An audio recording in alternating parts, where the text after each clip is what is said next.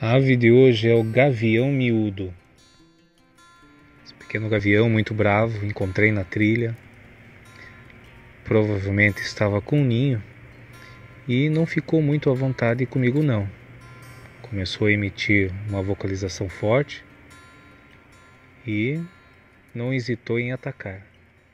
Veja só, acompanhe.